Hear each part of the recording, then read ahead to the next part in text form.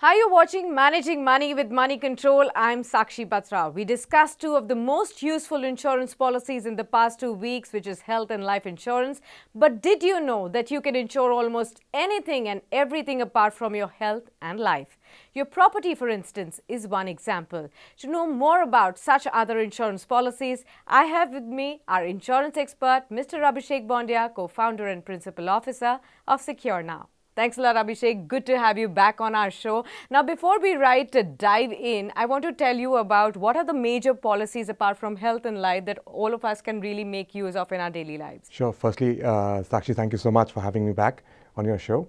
Um, uh, the, uh, apart from health and life, I would uh, recommend uh, a, a user to have at least three of the insurances, which are uh, personal accident, Okay. uh, motor, and home insurance. All right, so these are the three insurance policies, and we'll talk about all of them in detail. Let's start off with the personal accident policy cover, since that's really important. I'd like uh, you to first expound upon what is the really importance of having a personal accident insurance cover.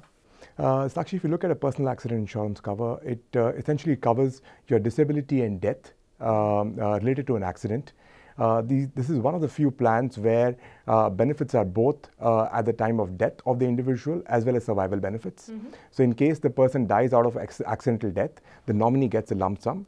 Um, however, if uh, due to the uh, accident the person suffers a disability, uh, then uh, a predefined sum could, could be, would be paid to the insured himself Right. or herself uh, to take care of their uh, loss of income. Absolutely, but how much of a personal accident insurance cover should one ideally have, and how does it really work if already one has an insurance cover, maybe a health insurance cover?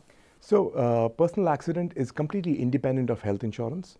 Uh, it has a little bit of overlap with life insurance to the extent that, in case of an accidental death, a life insurance also gets triggered. Uh, but a personal accident is slightly wider cover specific to the accident. Um, so, in case you have a, a life insurance, then uh, the kind of amount uh, you should look at is about uh, twice your annual income for personal accident policy. In case you do not have a life insurance policy, you should uh, look at a cover of minimum uh, five times of your annual income for personal accident. Right. Now, with uh, respect to health insurance, uh, it is completely independent. There is a small overlap with medical expenses linked to accidental insurance, uh, but otherwise, health insurance and personal accident insurance policies work completely independently. Absolutely. Now let's talk about how a motor insurance and personal accident cover was already unbundled by the insurance regulator last year. So asking about that, you know, one needs to now have a personal accident cover no matter how many vehicles you own. But for each vehicle you own, you need to have a motor insurance. So how does it really work? recently, uh, you know, the personal accident policy was in a way made independent of the motor insurance, where uh, one has to compulsorily buy um, a, a personal accident cover of 15 lakhs, um, uh, irrespective of the number of uh, motor insurances you uh, hold, uh, which is a positive uh, development because the level of cover has gone up. Um, now, when you look at uh, the uh, motor insurance, which is uh, much more focused on the car or on the bike. Um, uh, it has uh, nothing to do with personal accident, but much, much more to do with uh, the damage to the car, uh, which is owned by you, and also the damage that your car may lead to a third party. Absolutely. Now, let me ask you to expound something more about the motor insurance policy. So, if you have a motor insurance cover, does it actually cover the damage to your own vehicle in case of an accident, or does it also cover the damage caused to the other vehicle in the accident? It does. It, it actually uh, can cover both. Okay. Um, so, motor insurance has two components the own damage section and the third party section. The own damage section is meant to cover your own car, which could uh, suffer a loss due to, uh, you know, while driving on the road, or it could suffer, uh, you know, a loss because of theft or fire in the car. Um, the second section, which is the third party section, is a mandatory cover that you need to buy if you own a car. Um, the third party section covers loss that your car may cause to a third party in terms of either a, a property damage of a third party or um, a bodily injury.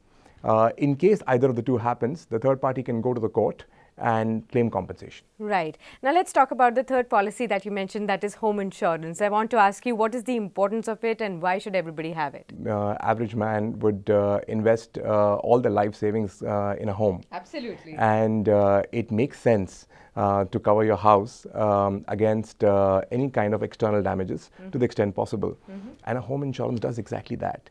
It'll cover um, a range of perils. A standard home insurance can cover about uh, 12 perils, mm. including uh, fire, uh, flood, uh, riots, malicious damage to your house, uh, earthquake. Mm-hmm. Um, so, uh, to cover against any of these perils, you have to buy a home insurance. Right. Now, Abhishek, also tell me about, as to, uh, do you mentioned about some of the natural calamities that were, so does it also protect you against theft? Yes, it can. Um, so if you think about um, uh, home insurance, there's a structure of the house and then there are contents.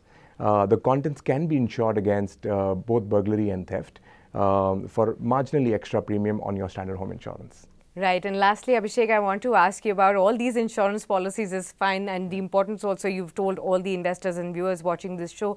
But how does the claims process work? Because that is really important and that is where all the investors really get stuck. Yeah. So what are the fine prints that all of us should really read about, should know about and be aware about whenever we go ahead and buy these policy covers for ourselves? That's a very pertinent question, Sakshi. Mm -hmm. uh, um, the reason why somebody is looking at insurance is to make a claim. Yeah. Um, I would uh, advise uh, three points uh, to viewers.